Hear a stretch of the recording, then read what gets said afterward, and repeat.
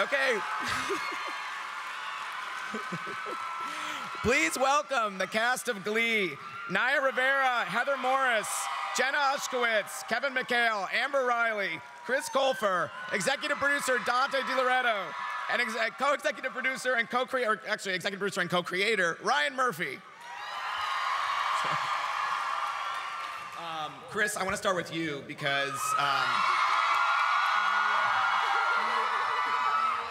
I mean, that last scene, I just watched it again, you know, backstage, and it gave me chills again. You know, talk about the storyline with you and uh, Mike O'Malley, who plays your father. It, I mean, uh, it's, obvi- it's like the emotional heart of the show. Has it been as rewarding for you as an actor as it is for viewers? Oh, absolutely. Because uh, every day I get you know thousands and thousands of uh, emails and, and Facebook messages and, and Twitter you know replies saying how much, especially especially that scene in particular, uh, how much it, it affected them and, and how much they're just so happy that um, a relationship like Kurt and his father is, is now on television because it's the first time in television history a father like that has accepted his son for who he is. Yeah. And Mike, and my, oh my God, Mike is just, he's, he's flawless and he's, he's great to work with and he just puts his entire being into everything he does and, and uh, I don't think anyone else could, could do it um, as well as he does. He's just flawless. Yeah.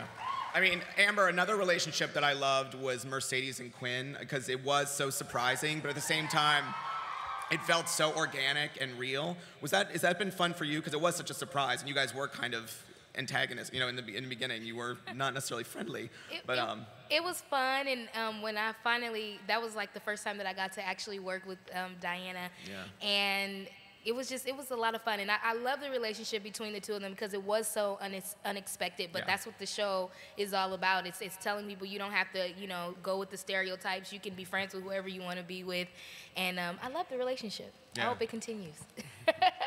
Heather, you know, Brittany, uh, pretty much. Brittany, Brittany pretty much only had like one line an episode, but it was so fantastic that, I mean, it's amazing that she's become this fan favorite. Thank you. Love you too. Do you do you have a favorite Brittany line? Uh, yeah. I think I think uh, either yeah the gay sharks or I like the mouse. The mouse is the funny one because Yeah. it's unexpected. You have no idea. I love when you ask uh, Mr. Schue if Jonathan Groff, if, if Jesse is his That was me. I'm the one. Thank you. I, I did that myself. You came up with that? I came up with that. Yes. Nice, nice. um, Naya, you know, Santana is like still, you know, She's hot. Santana is still kind of, she's still kind of a villain, even though she's stuck with Glee Club all year long. Do you think she actually likes these people, or is she still just doing this, you know, to, to help spy for Sue? Well, um, I don't know. I think that she really does like singing and dancing Yeah. uh, in her heart of hearts. Uh, but she's a bitch, and she's always going to be a bitch. Like, that's who she is, and I don't think that she would uh, be as fun as she is if she wasn't rude. No. And we love her for being a bitch. Yeah. Do you guys have favorite moments so far this season? Bad romance. Yeah. That episode.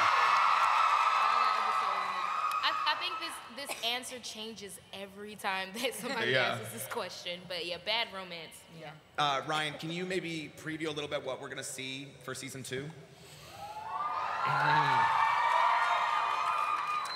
Uh, well, interestingly enough, I think people think after the first season that we've had, which was so unexpected and nuts, people think we're going to get bigger and bigger and try and be crazier. Actually, I think we're, we're doing it in a, in a different direction. And a lot of that is because of the people that you see appear. Um, I think those the characters pop so much that, like, you know, I want to see a, a whole episode of Brittany. I want to see. I want to see more about Artie and Tina, and I want. I mean, so this, the second season is designed, I think, to be a little bit more intimate, and I think uh, it's just from feedback, really, feedback from the fans that they want more of the people that they've grown to love. Huckleberry. Um, I just think people love, you know, what I found is that people love the characters so much Yeah. that they wanted to spend more time with them. So we listened, and that's what we're gonna do. Do you guys, the cast, do you guys have any songs you want to see this season? Like, is there anything you're actively campaigning to do? I want to do the time warp.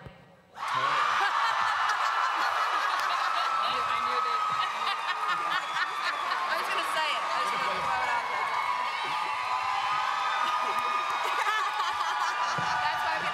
love Chris.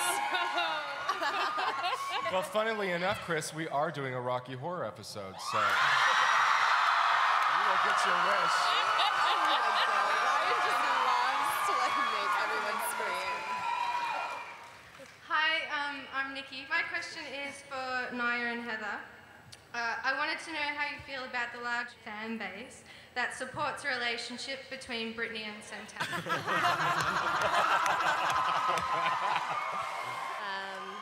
Well, We love it. are you talking about uh, Santitney? Oh! That's our mashup name. Um, no, I, I think it's amazing, and it's something that I don't think that either of us expected to happen. Uh, we were just having fun uh, together. We just and- hang out and have yeah, fun. literally. And the cameras roll, and we just hang out. And so, uh, We're actually writing an episode where we're debating whether they should kiss, so. Ryan, He just wants to hear you scream. That's yeah, why he he, just says wants to make everyone scream. Prove it now. Yeah, no, but I don't know. I, I, I love it, and uh, she's great to work with, and so I, I'm really excited that the fans kind of, you know, took well to that and latched on. What do you think, Brittany? I agree with that. I don't know. Even in the, the scenes, like it's just literally her and I together, like making each other laugh. So it's either like on camera, off camera. Like I don't know. I'm glad that we like have such a fan base because we're best friends in real life. So We make out all the time. we, yeah, we make out all the time.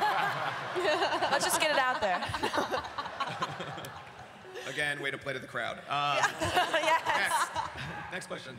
Hi, um, I was just wondering what the best thing that has come with fame, like meeting someone really big or traveling. Um, I think the best thing is is meeting the fans and doing stuff like this for us because we do work in such a, a glee bubble, like we always say. And when we get out here and we get to see you guys and hear your feedback, it kind of gives us a little bit of uh, a rush when we get back to work. It makes us work a little bit harder, and the traveling is nice too. And what about what about singing for the president of the That United was- that States? was- Is Not bad. That was that was cool. cool. Is there any nerves? Did you guys have any nerves during that? Were you nervous at all? Oh, yeah. Yeah. Okay. Yes, we still get nervous. We get nervous all the time. It was like the stage at the end of the lawn, and it's like you know Michelle and Barack Yeah. are up there. Who was scarier, the president or Oprah? Oprah. Oprah. Oprah. We, were- we weren't allowed to bring cameras or anything Everybody into the building. Everybody was building. much more nervous about Oprah than the president, which was fascinating. All right, next question. Um, my question is for Chris Colfer. What are some of the differences between you, Chris Colfer, and Kurt Hummel? Oh gosh, where do I begin? Um, I, had no idea who Marc Jacobs was until we shot the pilot. um, I, don't care for 10 inch heels. Um, and I, I think I am just a huge, huge nerd. And um, I think. Thank you. Thank you. I feel very much at home. Thank you. Um, um, so I, I think Chris is just a huge. As I'm talking to myself in third person. In third I- I- person. I, I think right. Um, I look crazy. Um, I think I'm just um, a huge, huge nerd, and I'm I'm very awkward. And uh, Kurt is just, you know, he he just thinks he's superior to everyone around him. And uh, and what's not to like about that? Hi, I, I love you, Kevin, but I love you too. Um, I was wondering if you guys have any pet peeves about each other off camera. Oh, of course we do. That's a good question. Amber hates when I crack my gum. Oh, anybody. I'm Heather. the worst. And I'm Heather. the worst at popping my Uh. Amber uh, videotaped me on the treadmill and put it on Twitter. What? That's amazing. Did that happen? oh my gosh. Any more about Amber? Amber goes like this. Eh, wait, she does this. Oh, do it, do it, do it. This is Cory's biggest pet peeve. This is Cory's biggest pet peeve. What I do? Go. Ladder, ladder, ladder, ladder, ladder, ladder. That's for you, Cory. He hates All it. the girls get around him, like Jenna and Lea and Amber, and just do that. And he's like, ah! We have little things, yes. All right, next question. Hey panel, um, I was wondering which of you were actually in a glee club in high school. I think I was the only one. I was in Glee Club.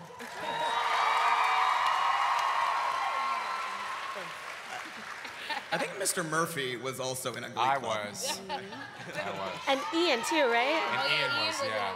Ian and I and Jenna, I think. And wasn't Lea in something? Yeah, no? sure. She was on She was on Broadway. Broadway. She was on Broadway at nine. Straight from the delivery room to Les Mis, Lea Michele. All right, next question. Is there a boyfriend coming up for Kurt? I want specifics. Don't make me come up there. Snap. Preach, girl. Yeah, you know, we definitely are going to do that. I mean, one, one of the things that I always thought would be, that was important to me for that character was to sort of have the, um, in a weird way, a high school experience that, that I didn't have. And I think that I really want Kurt, who I think has struggled a bit, to ultimately get to a place where he is incredibly comfortable and easy and proud about it. And I think he should have a boyfriend and they should be prom king and king. That's my ultimate goal. I don't know how Chris feels about it, but yeah, we are we are going to do that, and um, I think we're going to we're going to definitely do that in the second season. I think that's important. I think that's an important thing to put out into the world. For you know, we get so much great feedback. Um, I really want to see that relationship. I want to see what that relationship is like. I want to see what Mike O'Malley thinks about that. What was your favorite part? Good question. That's a good question. My favorite part um, was when. Mine was when I got to wear the cone bra. There you go. that was my favorite part. favorite part. One of my favorite parts was getting to play Ryan Murphy directing the Vogue video. Oh, yes. That was my Ryan Murphy impression. This is pretty nice too. Yeah, this is cool. This is my favorite part. All right, next question. Hi, this question is also for Ryan. I was wondering what feedback you've received from uh, choir directors around the country as, as far as the show's impact on high school students. Well, we get feedback from that all the time, and one of the, I mean, the thing for me that is the greatest joy about the show was when we did the show. For me, the show was like uh, the thesis statement. Yeah, I think I even said it in the pitch. Was this is a show about why the arts matter and why the arts can change your life. All right, next question. Um, what is your favorite song from the show? Mine Yeah. is Poker Face. Poker face. Poker Face, yeah. Poker face, that was good. Poker face is the winner. Amber, Like a virgin. Mine, mine is um. mine is still somebody to love. That's. I love Bad Romance. It's so much fun. I loved uh, One Less Bell to Answer. Yes, Kristen that, Cole. that, that, that's Oh, my right, favorite. yeah. actually. I know. There's too many. All right, this is gonna be a, I have to be the last question, so sorry. Hello. Um, I'm a big musical theater nerd, and I've noticed that a lot of the songs that you guys perform as far as musical theater are from the last 30 years. So I was wondering if you're gonna anytime soon bring any songs from the golden age of Broadway. Like I'd like. Uh, Stay by the mic. Can I have some suggestions? We're writing. Uh, what do you love? Carousel? Carousel. Guys and Dolls. Guys and Dolls. That's a good one. I can see Artie busting out some Guys and Dolls. We did sit down. American in Paris. Yeah, I mean, I, yeah, of course we will. Uh, there are so many great numbers and so much to sort of pay tribute to. I mean, I really look at it as uh, we're just kind of getting started, you know? Um, and we have a lot that we would like to pay homage to. And I think that when we do those numbers, we really do them as fans. And I'm fans of all the, those that you mentioned, so yeah. All right, well, Yeah. on, on behalf of the cast of Glee, I want to thank all you guys for coming out today. Thank you. Thanks so much, and tune in to Glee this fall.